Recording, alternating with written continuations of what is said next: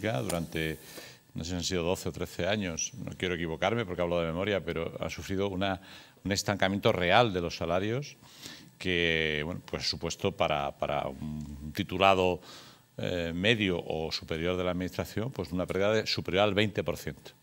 ¿eh? Porque esa es otra de las eh, facetas, no, no, no le quito una coma a lo que decía don Juan, en relación con la economía, ¿no? pero es que el poder adquisitivo de las familias, ¿eh? o sea, el, país que está a la cola en relación con la, eh, el crecimiento en los últimos 8 o 10 años del poder adquisitivo del español medio es España. Y eso tiene mucho que ver con todo lo que está pasando, con todo lo que se comentaba ya en la mesa. ¿no?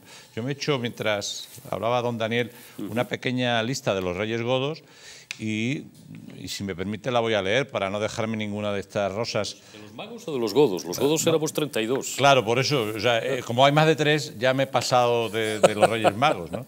La inflación desbocada, la deuda pública desorbitada, más desempleo maquillado por Yolanda Díaz, la inseguridad jurídica creciente eh, en el país como consecuencia de las veleidades de los traidores de, de Moncloa, el estancamiento que precede a la recesión económica en el siguiente trimestre, los tipos de interés creciendo, eh, las hipotecas creciendo. Está los... usted animando mucho. Claro. es lo eh, que hay, claro. El, el, crédito disponible bajando. O sea, hoy no te dan, vamos, si eres No te dan 10.000 eh, euros en cualquier banco español, porque ya se han encargado los bancos de, esquilmar la red de cajas de ahorro y montes de piedad, que es algo tan español y tan beneficioso para los menos pudientes, para los más débiles.